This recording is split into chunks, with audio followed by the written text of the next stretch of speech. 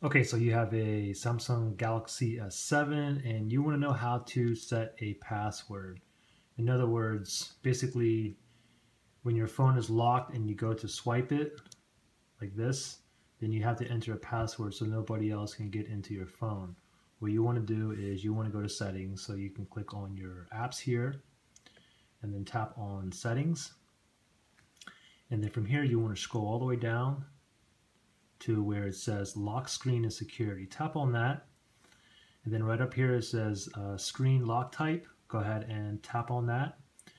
And from here you can put you, you can put different kind of um, security um, lock screens here. You have pattern, pin, password, or you can even do none. But we're going to do the password. So tap on the password here.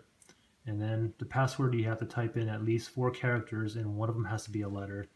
So I'm just going to type in uh, 111 and the letter A. Click on continue. Type in your password again. Mine here is 111 and the letter A. Click on OK. You have to do it twice to confirm. Then you have the option here to select the options for notification on the lock screen. I'm just going to leave on uh, show content. That's fine. Click on done.